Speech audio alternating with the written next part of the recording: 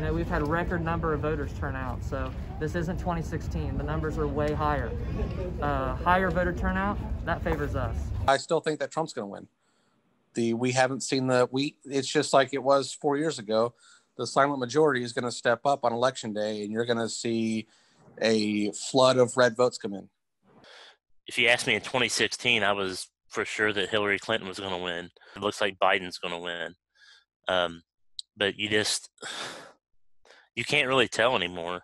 The average age of voting has definitely gone down. I'm seeing it for myself. A lot of people telling me that they're first time voters coming out just to stop uh, the kind of madness that we've been seeing the last four years. People are standing in line to express their disapproval of our current leadership and that they're looking for new leadership. So I believe and I'm confident that Joe Biden will be our next president.